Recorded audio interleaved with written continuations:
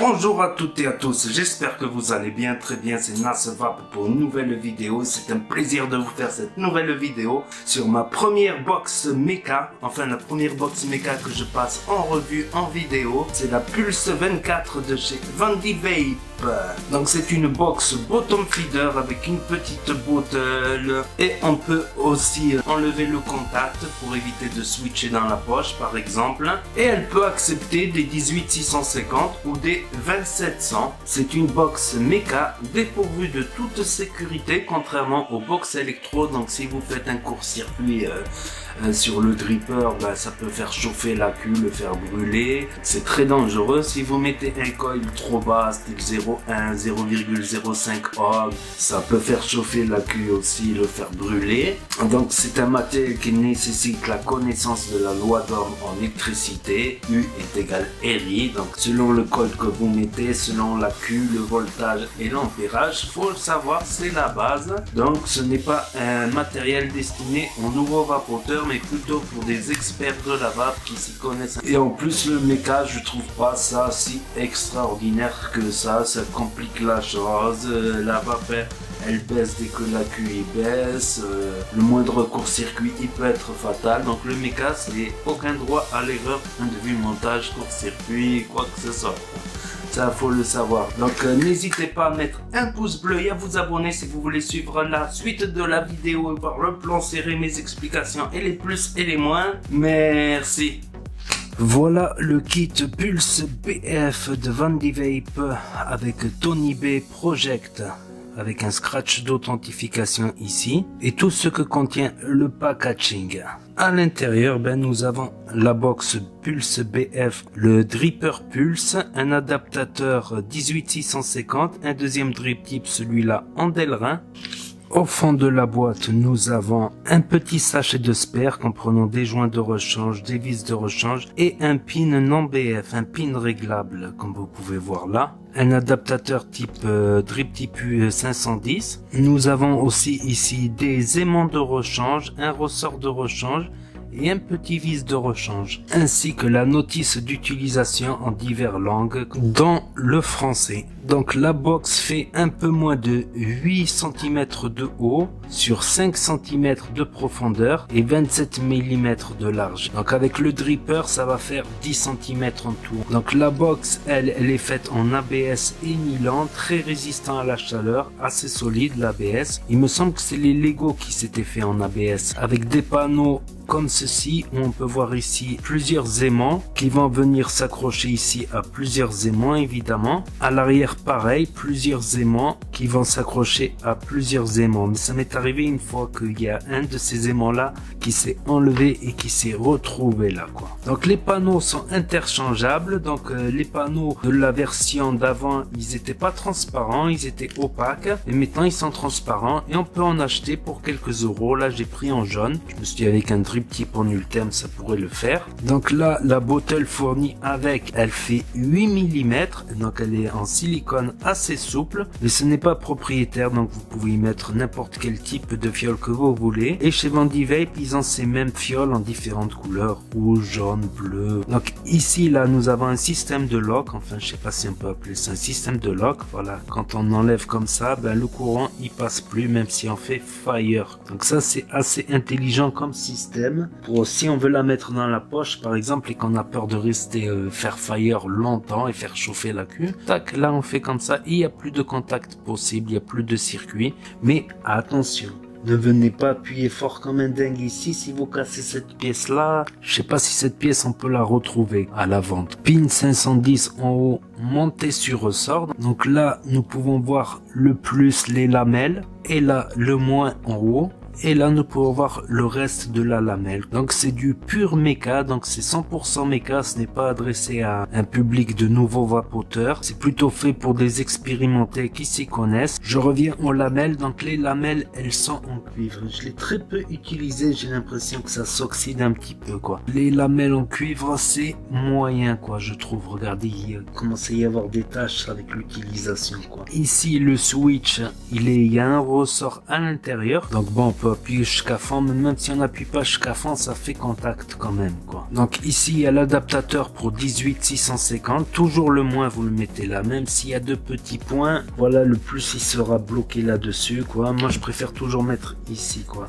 Pour laisser plus d'espace pour le dégazage. Donc le plus en bas et le moins en haut. Et pour enlever la cube, il faudra enlever le panneau de derrière. Pour enlever la bottle sans avoir enlevé la cube, vous appuyez légèrement là, hop, et on peut enlever la bottle. Je vais y mettre une 2700. Là, c'est un VTC5 qui fait 2500 mAh. Il y aura un peu plus d'autonomie. Ne descendez pas trop bas non plus en montage, quoi. Donc, Mooch, le spécialiste des accus américains, a testé les eJoy 2700. Donc, celle à 5 branches. Et là, il y a bien 1, 2, 3, 4, 5 branches et il y en a un modèle qui fait 20 ampères et non 40 ampères et un autre modèle qui fait 30 ampères et pas 40 ampères non plus. Donc euh, pour sa loi d'homme faut mieux avoir la vraie valeur qui est de 20 et qui n'est pas de 40 quoi. Faut se dire qu'il y a 20 ampères et que c'est comme un 25 R par exemple pour euh, sa loi d'homme. Donc on peut y remettre le capot. Voilà le capot il tient bien. Ça va et pour l'enlever, ils ont mis une petite encoche ici. Donc en plus des aimants, voilà, il vient vraiment très très flush quoi. Donc il bouge, euh, il bouge pas du tout quoi. Donc là, nous allons voir le dripper. Donc il fait 24,4 mm de diamètre, pratiquement 25 quoi. Donc ce drip tip, il me semble qu'il est en polycarbonate, donc je pense qu'il est préférable d'utiliser un en Ultem de chez Vendivey par exemple, ou le second drip tip en Delrin. Le Delrin il a tendance à refroidir. là pour le réglage d'airflow, ça va, c'est pas difficile à régler. Mais bon, on n'a pas une très grande plage de réglage parce que dès qu'on arrive là, hop, vous voyez, ça rouvre de l'autre côté. On peut enlever la cloche, la partie supérieure pour avoir accès au plateau. Dommage qu'il n'y a pas un loquet pour avoir exactement les airflows en face. Donc la cloche de ce côté, elle est légèrement voûtée, mais pas de quoi dire en dôme, limite un dôme, un mini dôme, pas très prononcé quoi. À l'intérieur, j'y ai mis deux petits euh, Fuse Clapton en nichrome, ce qui m'a donné 0,3. Là, on peut voir toutes les petites gravures, le pin BF. Donc quand on scanque le liquide, il arrive par ici et par là, donc faut plonger les cotons ici dans une petite cuve. La cuve, elle est assez relativement profonde quand même. Ça parle de 2 ml de cuve, plus peu au vert skanké vu que les airflows ils arrivent par le haut. Je sais pas si on le voit bien mais voilà les airflows ils, ont tendance à descendre comme ça. Donc on peut over skanker un petit peu quoi, pas jusqu'au niveau du col. Donc là, ça m'indique 0,25. Sur l'autre box, ça m'indique 0,30. Il faut que les spires du milieu rougissent vers les spires extérieures en même temps. Donc pas de difficulté particulière à le monter. Là, nous voyons les vis de chaque côté. Nous voyons là le, le, positif qui est séparé par un pic gris. Là, vous voyez le petit truc gris ici. Donc ça, c'est le tout le négatif. Et ici, les deux plots positifs. Attention, n'allez pas mettre euh, un court-circuit, quoi. Surtout méca, quoi. N'allez pas mettre une patte ici et l'autre patte là. Faut, faut bien pas faire de court-circuit, surtout en méca là-dessus. Pour ça que c'est un matos pas adressé à des débutants, pas le droit à l'erreur là-dessus. Pour le cotonnage, comme d'habitude, on fait rentrer d'un côté on fait ressortir de l'autre. Il faut que le coton puisse passer facilement, mais qu'on sente un peu de résistance quand on le fait passer, pas trop non plus. Ensuite, pour avoir la distance exacte, je vais regarder jusqu'où je peux mettre le coton au fond de la cuve. Voilà à peu près cette distance là. Voilà plus que le diamètre du col quoi, environ à peu près. On peut aérer un petit peu le coton de chaque côté pour améliorer la capillarité. On enlève quelques brindilles. Ensuite, nous venons mettre le coton au fond de chaque côté. Ensuite, nous allons imbiber le coton sur les coils, bien imbibé sur les coils et un peu partout. Ensuite, nous allons faire un test de fire pour voir si tout marche bien. Tout marche bien. Et ensuite, nous allons faire un test de fire en mettant la cloche tout marche bien, c'est jamais qu'un décoil il touche la cloche qu'il y a un problème, ça va se mettre en sécurité. Ensuite, nous allons remplir la bottle, donc faut tenir par là, faut pas tenir par là quand il y a du juste, sinon tout va remonter. Elle est assez souple cette bottle. Donc voilà, en plus ce qui est bien, c'est qu'il y a un grand trou, par exemple pour les bouteilles twist. Ensuite, nous refermons en tenant, comme je vous ai dit, par là, évidemment. Allez, pas de vis, c'est un peu crunchy. Ensuite, nous remettons la bottle. Ensuite, on peut mettre le contact ici. Voilà. On remet le panneau. Et on va voir maintenant si le jus remonte quand on scanque. Et vous le voyez là. Vous le voyez qui remonte, qui déborde même. Donc ça marche bien. La voici, la voilà toute prête, le montage sur son petit euh, dripper Pulse 24. Donc je l'ai ici aussi avec un single coil, avec euh, différents drippers, avec les AQ18 650, style euh, VTC 5 25R. Là j'ai mis celui-là, le 20700. Faut se dire qu'il y a 20 ampères et que c'est comme un 25R par exemple pour sa loi d'homme. Donc avec la résistance dont j'ai fait le montage, regardez ce que ça donne.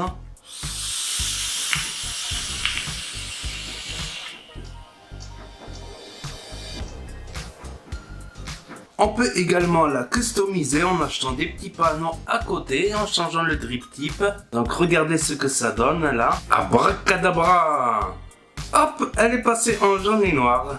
C'est magique, hein, avec le triptyque en ultime. Donc le premier modèle de cette Pulse Vandy Vape, elle avait des panneaux opaques, gris, noir, rouge là. Avec le kit, elle a des panneaux transparents.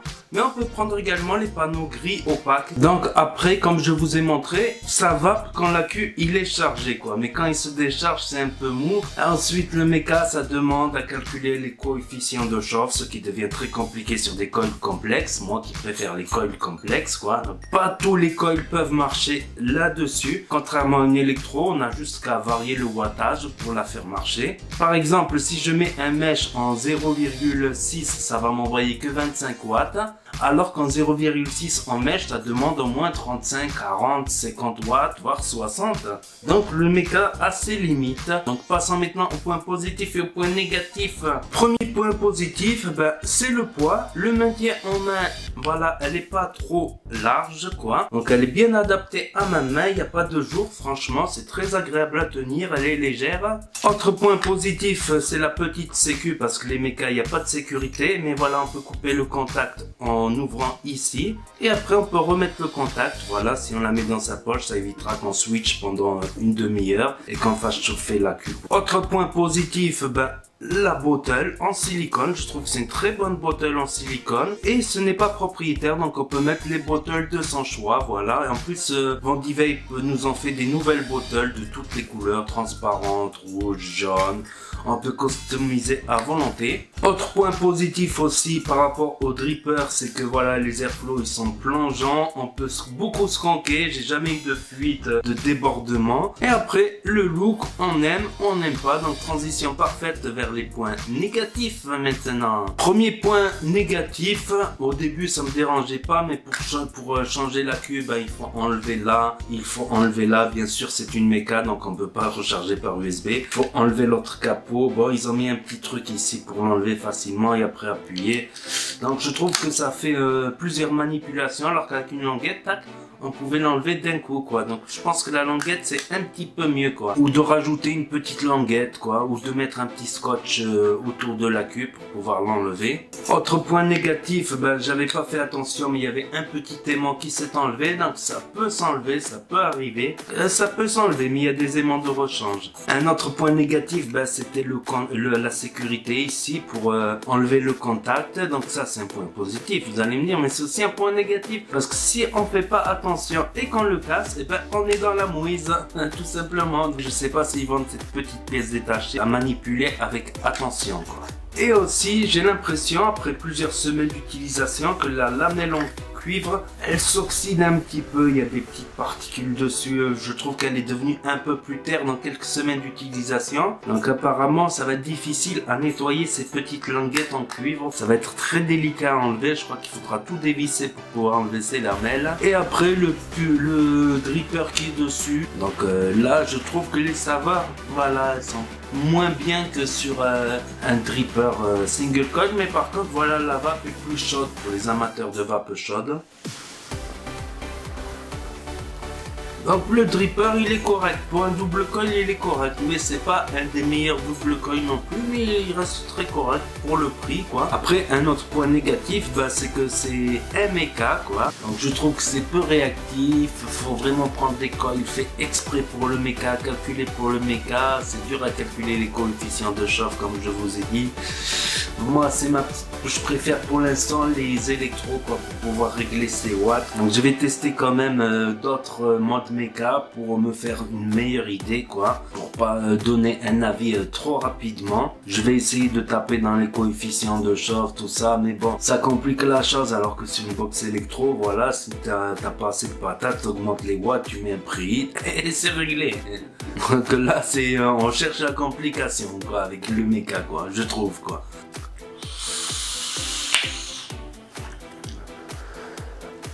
Donc c'est peut-être moi qui n'ai pas mis des bons coils euh, qui sont faits exprès adaptés pour du mode méca. Donc euh, je verrai ça par la suite avec mes différentes expériences. Mais ça reste une PF sympa quand même c'est pas ma vape le méca, moi je suis plutôt électro quoi. Le méca c'est plutôt quelque chose qui fait partie du passé, c'était révolutionnaire à l'époque où t'avais que des box à 12 watts.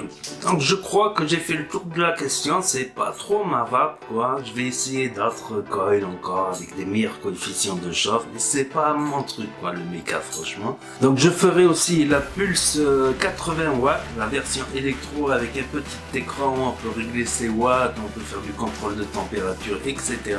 Donc n'hésitez pas à vous abonner pour suivre mes prochaines vidéos. N'oubliez pas de mettre un petit pouce bleu, ce n'est qu'un petit clic. Et je vous dis à très bientôt les amis les potos pour de nouvelles vidéos revues et tutos. C'était Nasovap pour vous servir. Et vous savez très bien que si le courant passe, ben, la tueuse trépasse et ça va peu bien.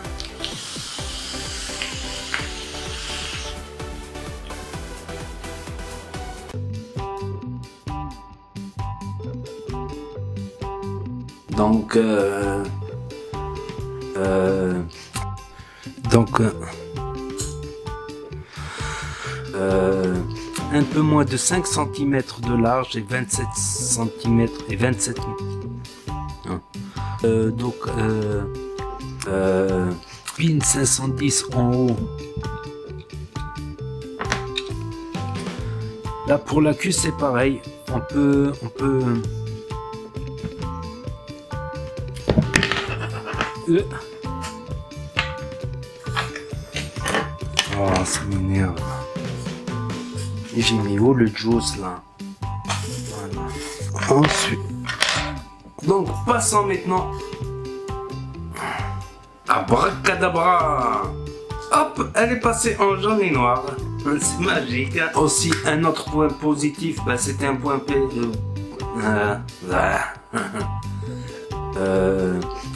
donc euh, voilà, je crois. Les pouces bleus. N'hésitez pas à partager cette vidéo.